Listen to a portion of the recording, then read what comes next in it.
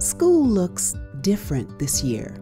Whether your kids are learning in person, remotely, or a combination of the two, you probably find yourself more involved and with more questions. And that's on top of everything else you have going on. Our family guides are designed to help you support your kids' learning. Created by the experts at Student Achievement Partners and Seek Common Ground, these guides are here to help you help your kids. The family guides describe what kids should be learning each school year in literacy and math and matching tools and resources for how to help at home.